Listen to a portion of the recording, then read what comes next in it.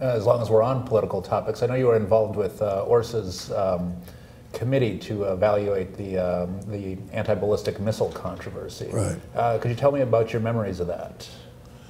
Well, it was interesting. Um, the principal, I think the principal reflection that I carry away from that was that expertise in one field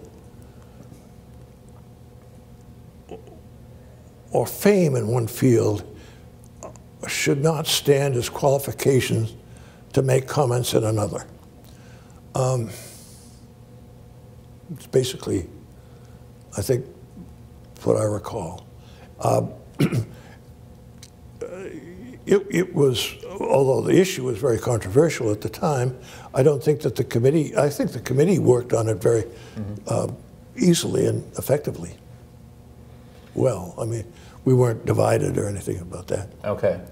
Uh, and within the society itself, uh, I, I, think you put out a full uh, issue of the journal, actually, on the, uh, what would one say, the uh, professional standard.